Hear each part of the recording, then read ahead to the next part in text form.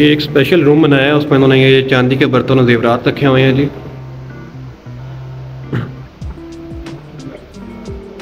और ये देखें जी, ये अब इसकी हिस्ट्री लिखी हुई है, कौन थी, या क्या थी, लेकिन आप ये चेक कर सकते हैं कि इन्होंने ज्वेलरी पहनी हुई है।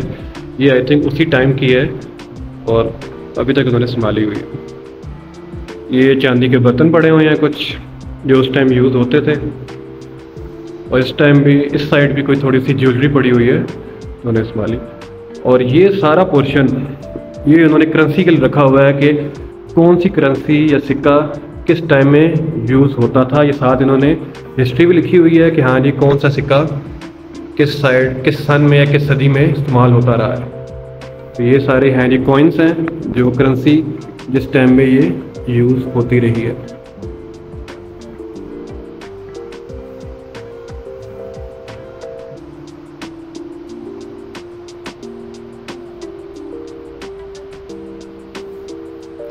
ये आपको नंबर नज़र आ रहे हैं सात सेवनटीन एटीन उसी के अकॉर्डिंग यहाँ पे उन्होंने ब्रीफ किया हुआ है कि सेवनटीन का क्या मतलब है। अगर सेवनटीन हमने देखा था तो सेवनटीन था जी आर्कीबियस किंग ऑफ़ काबुल मतलब कि ये डिफरेंट जगहों से आए हुए हैं। सिर्फ़ टेक्सला नहीं मतलब इर्द गिर्द भी आपको जो एरियाज़ थे हिस्टोरिकल या सिविलाइजेशन उनके कॉइन्स भी यहाँ पे आपको मिलेंगे और उनकी हिस्ट्री भी इन्होंने यहाँ पे लिखी हुई है। विद नंबर्स के आपको मुश्किल ना हो समझने कौन सा कॉइन की कौन सी हिस्ट्री है। और ये चीज़ मेरी सबसे फेवरेट है इस म्यूज़ियम में, क्योंकि थोड़ी बहुत ज़्यादा अट्रैक्टिव है।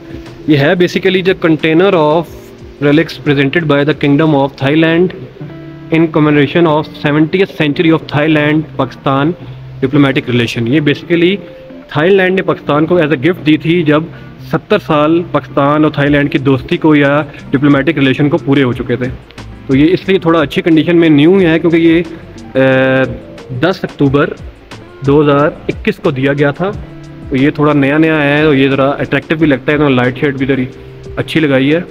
ये आप देख सकते हैं कि हाँ जी, ये इन्होंने थाईलैंड ने पाकिस्तान को एज आ गिफ्ट दिया था ये।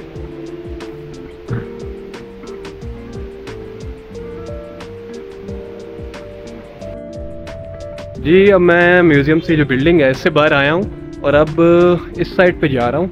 ये ये बेसिकली यहाँ से हम जाएँगे। और उस साइड पर जाके बैक साइड पे इन्होंने थोड़ा सा गार्डन वगैरह और एक, दो चीज़ें हैं हिस्टोरिकल वहाँ भी। तो मैंने कहा, चले आपको वो भी दिखा देता हूँ, फिर उसके बाद हम निकलते हैं यहाँ से।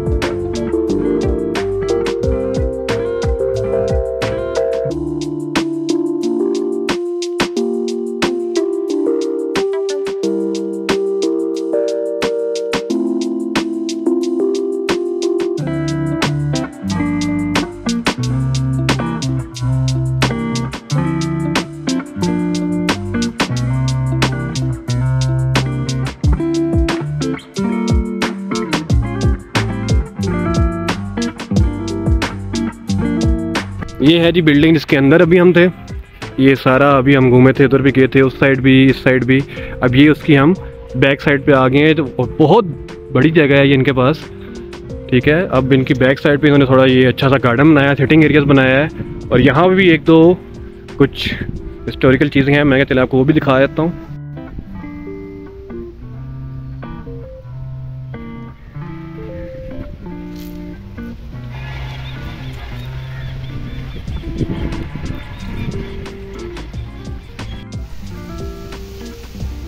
ये एक इन्होंने अमन की घंटी का बनाया हुआ है, इसकी हिस्ट्री यहाँ पे नहीं लिखी हुई, लेकिन आई आई होप क्या मुझे लगता है कि कोई ना कोई इसके पीछे हिस्ट्री होगी, तभी इन्होंने यहाँ लगाया हुआ है और प्रॉपर इसका साइन बोर्ड भी लगाया है कि अमन की घंटी। तो ये आप देख सकते हैं यहाँ पे जी, ये प्रॉपर इन्होंने एक बेल यहाँ पे हैंग की हुई है।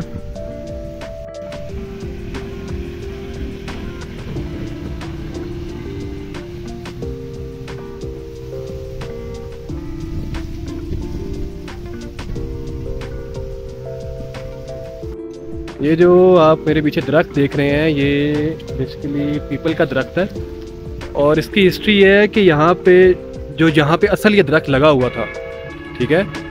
वहाँ पे जो हिस्ट्री है कि जो उनके बुद्ध माता हैं, जो जो हैं, जो इनके बेसिकली अंदर इनकी हमने देखी भी हैं, सारे मुजस्मे वगैरह, बुद्ध मातब वो उसके नीचे बैठ के उन्हें समझ लें किस्म की अपने जो उनके मानने वाले थे, उनकी तरफ़ से उन्हें वो मिल गई थी कि हाँ जी, अब आप इस लेवल पे पहुँच गए हैं कि मतलब अब आप, आपका कीदा बहुत अच्छा था, ठीक है? तो जब वो उस राके ने मिल गए तो उस टाइम जो वहाँ पे एक शहनशाह था, उसकी बेटी ने वहाँ से उस दरख्त का एक पत्ता या समझ ले एक जड़ तोड़ ली थी और वो ले लेके सेलोन सेलोन एक समझ ले मुल्क है, मेरे ख्याल में, या कोई कस्बा है है हमारे पाकिस्तान से बाहर ही, वहाँ वो ले गई थी सेलोन में। और वहाँ जाके उसने वो लगा दिया था। ठीक है? और वहाँ जाके भी वो पीपल का दरख्त बहुत बड़ा हो गया था। तो जो हमारे जनरल अयूब खान साहब से सदर हमारे उस टाइम के, वो सलोन पे गए थे दौरे पे उस टाइम डेट मुझे याद नहीं है, ना लिखी हुई है यहाँ पे। तो वो वहाँ पे टूर करने गए थे। तो वहाँ से वो एक पीपल के, उस पीपल के जो वहाँ पे उस टाइम उस शहनशाह की बेटी लगाया था और वो बहुत बड़ा दरख्त बन चुका था। वहाँ से उसकी एक जड़ या एक पत्ता जो कह सकते हैं कि एक शाख तोड़ के ले आए थे और यहाँ पे आके उन्होंने लगा दिया था 25 जनवरी उन्नीस सौ पैंसठ। ट्वेंटी जनवरी 1965 में आके जनरल अयूब खान ने यहाँ पे आके लगाया था और उसके बाद से अब तक ये पीपल का दरख अगर आपको नज़र आ रहा है, मेरे पीछे तरोताज़ा है और अभी भी इसके पत्ते सब्ज हैं और अल्लाह की तरफ़ से ये परवान चढ़ा हुआ है। तो ये इसकी थोड़ी सी हिस्ट्री है। तभी इन्होंने ये अगर नज़र आ रहा है पूरा ये केज लगा के, उसको कवर कर दिया है कि ये एक हिस्टोरिकल एक पॉइंट बन चुका है।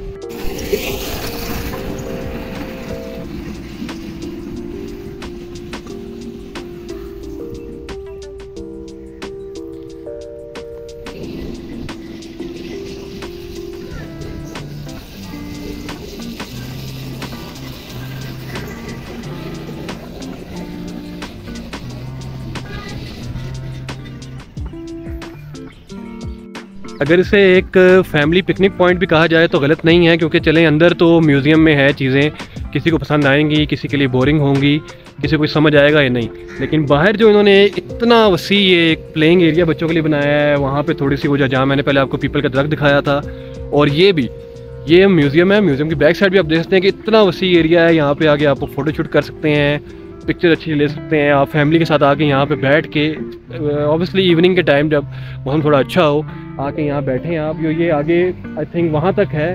अगर आपको बिल्डिंग नज़र आ रही होगी, पीछे बस वहीं तक इसकी लिमिट है। और ये सारा इन्होंने बाउंड्रीज बनाई हुई है इसकी।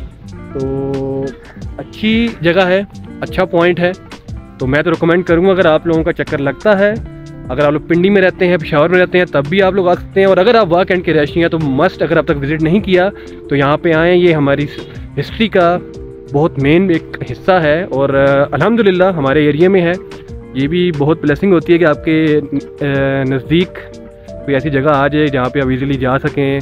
और वहाँ जाके एंजॉय थोड़ा कर सकें कुछ सी, सीखना है सच क्या है हिस्ट्री हर किसी को पसंद नहीं मुझे खुद बहुत बोरिंग लगती है लेकिन मैं क्या चले आप लोगों को दिखाता हूँ कि ये है हमारी सिविलाइजेशन हमारी तो नहीं जो हमारे समझ लेके सोसाइटी का हिस्सा है इस टाइम और ये हिस्ट्री है हमारी ठीक है? और टेक्सला बेसिकली है ही एक हिस्टोरिकल सिटी इसकी बाकी हिस्ट्री वो बाद में क्योंकि दो तीन जगह और भी हैं टेक्सला में वो दिखाऊँगा आपको उसके बाद बताऊँगा तो बस ये था जी हमारा टेक्सला म्यूज़ियम का विज़िट। आई होप आप लोगों को अच्छा लगा होगा। अच्छा लगा तो प्लीज़ लाइक सब्सक्राइब कर लाजमी कीजिएगा। और इन उम्मीद है कि आप डेली बेसिस पे व्लॉग्स आएँगे। बस थोड़ी मसरूफियात थी, आप लोगों को बताया था। बस दुआ करें कि अल्लाह सब की मुश्किल आसान करे और सबकी ज़िंदगी आसानी में गुजरे। और जो परेशानियाँ होती हैं, अल्लाह अपने बंदों पे ही, अपने पसंदीदा बंदों पे ही परेशानियाँ लाता है, लेकिन हल भी करता है साथ साथ तो दुआ कीजिएगा, अल्लाह सब की परेशानियाँ, मेरी परेशानियाँ भी जो जो आती हैं, जो अगर आएँगी भी तो वो साथ साथ हल होती रहें और ज़िंदगी ऐसे ही अच्छी, खासी खुशियों में गुजर जाए। तो तब तक के लिए अपना ख्याल रखिएगा, इजाज़त दें जी। तो फिर इंशाल्लाह नेक्स्ट मुलाकात होगी आपसे नेक्स्ट ब्लॉग में। तब तक के लिए अल्लाह हाफिज़ टेक केयर